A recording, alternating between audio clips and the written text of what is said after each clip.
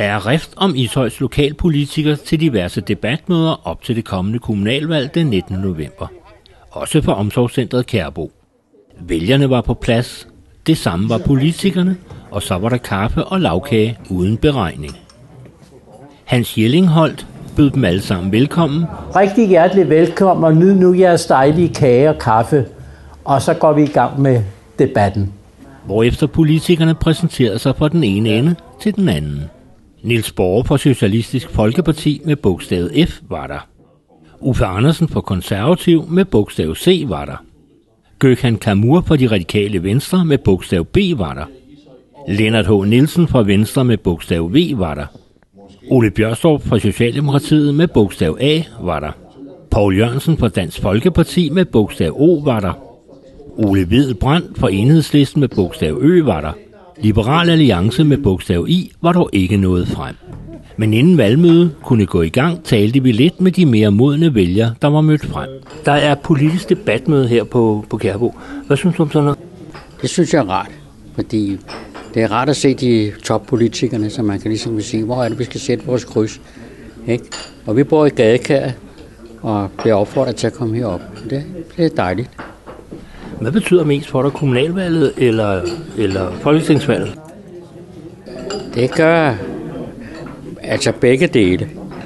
Altså, vi går op i, fordi man ser så meget tv, så kan man jo ikke undgå det og, og, og lægge mærke til øh, med Folketinget. Men det her, det er lige så vigtigt, hvis det ikke er vigtigere, fordi det er dem, der behandler os i vores lille kommune. Ikke?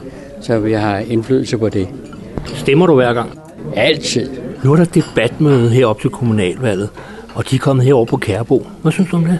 Det synes jeg er en rigtig, rigtig god idé. Kommer du ellers til valgmøderne, hvis de ikke øh, kommer her? I det omfang, jeg ikke har et program, der ligger, så gør jeg. Nu er det øh, kommunalvalg, men der er også folketingsvalg. Stemmer du til begge dele? Absolut ja.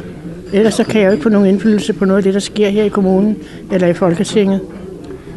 Stemmer du hver gang, der er valg? Ja. Hvor mange år har du stemt? Jeg har stemt siden jeg var 21. Stemmer du hver gang? Hver eneste gang. Hvad synes du om, at politikerne er kommet over på Kærbo? Men det synes jeg, der er glimrende. Har du nogle spørgsmål til dem? Det kommer an på, hvad de får sagt. Nu er kommunalpolitikerne kommet herover på Kærbo for at fortælle lidt om kommunalvalget og deres holdninger og meninger. Hvad synes du om det? Ja, men jeg synes, at det er en rigtig god idé. Fordi at der er mange borgere her på Kærbo, som uh, godt vil vide lidt mere om det. Og da man er lidt ældre, så kan det godt knive med at følge med. Ikke? Så det er en god ting. Tager du selv ud til, øh, til de møder, der er rundt omkring? Ja, det gør jeg. De senere år blev jeg ret aktiv inden for det der, fordi jeg vil godt følge med i det. Ikke? Jeg også i fagforeningen for Elforbund og også været aktiv politisk derinde, så øh, jeg synes, øh, der er mange gode debatmøder rundt omkring. Har du altid stemt? Ja, jeg har, jeg har stemt siden, at jeg måtte stemme. Jeg tror, at dengang det var vist 18 år, at man havde stemt. Nej, det var først 21. Og så kunne der stilles spørgsmål. Der blev spurgt om familieafdelingen og om sagsbehandlingstiden. Og der blev svaret. Der var spørgsmål, om der blev foretaget forbedringer af kloakkerne i Vejledalen, og der blev svaret. Der var også spørgsmål om vandmangel i gadekæret, og hvad politikerne ville gøre ved det. Og der blev svaret. Arbejdsløsheden var også en del af de mange spørgsmål på debatmødet, og der blev svaret. Nu var ikke alle spørgsmålene lige kritiske. Der var også ros. Jeg ved, at der er mange af vores ældreborgere, der er begyndt at tælle datoerne til de bliver pensionister, fordi de skal med på skovturene og på til julearrangementer. Og så var tiden gået, og Hans Jellinghold sluttede det hele af med noget specielt sang. Og så vil jeg ønske, at I kommer godt hjem alle sammen.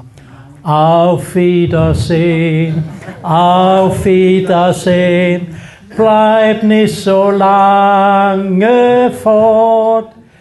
Fik Erling så det ud af debatmødet, han havde håbet på? Og hvad med lavkagen? Ja, det gjorde jeg. Jeg fik meget ud af det der. Hvad fik du ud af det? Øh, Jeg fik de oplysninger, jeg gerne ville have. Og vi har det dejligt herovre.